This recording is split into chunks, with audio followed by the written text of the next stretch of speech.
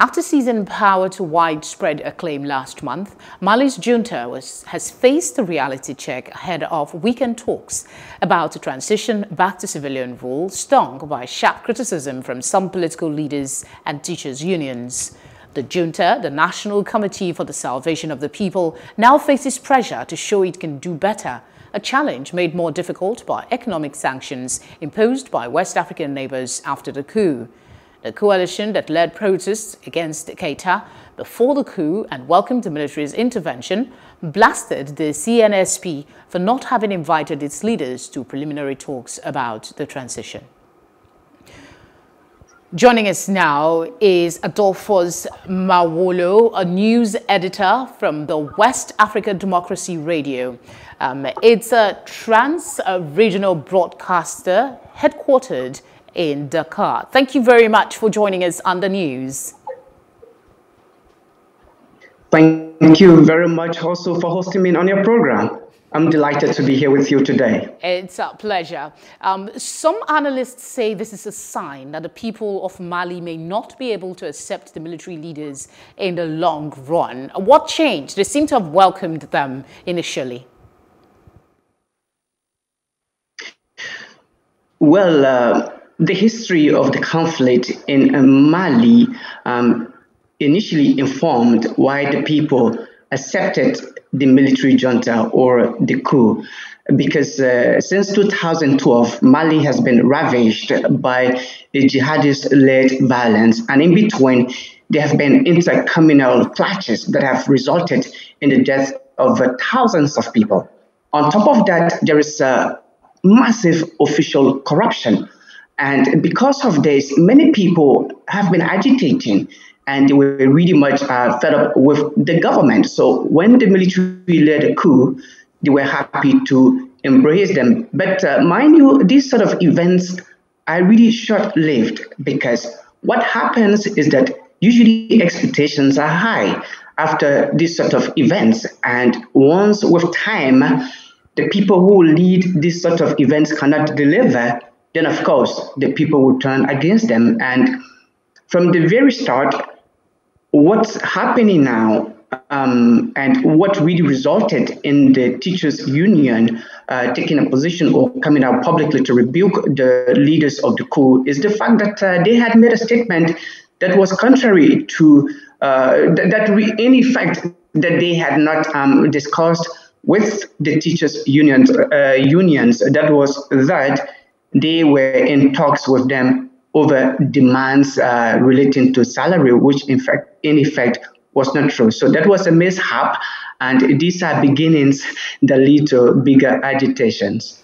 Uh, do you subscribe to the regime accommodating the opposition into the transition plan?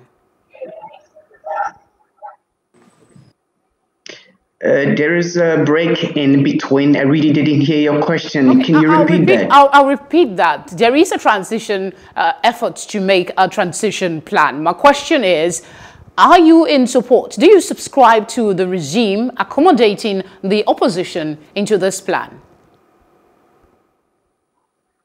Well, they cannot do without the opposition. So the opposition laid the foundation for whatever change has occurred in Mali.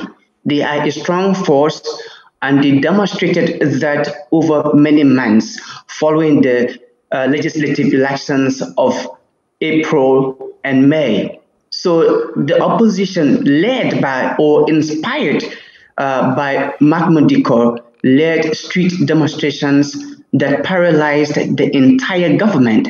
And so it will be foolhardy for the military junta to want to ignore these people. Um, it will be an unnecessary distraction and it will complicate matters for Mali, but also for the junta who have come to power promising to overturn the excesses of the government of President Ibrahim Boubacar Keita.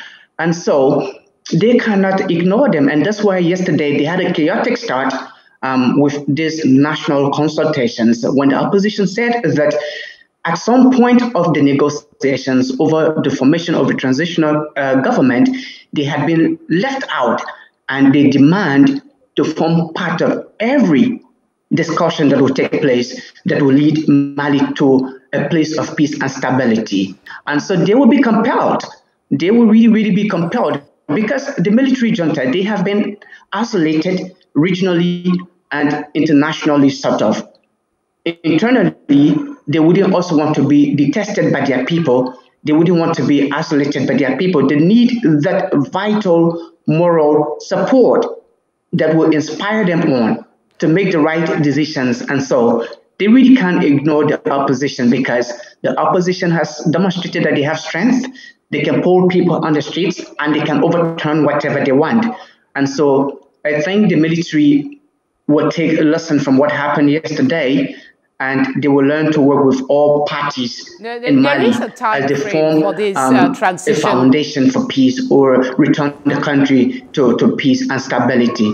Uh, Mr. Mawolo, there is a time frame for this plan to take effect, you know, considering some of the um, um, sanctions you mentioned to get them off the back of Mali. So uh, one would wonder, um, how long do you see this uh, disagreement lingering for and how quickly will the military respond and integrate these opposition members uh, and stop the agitations?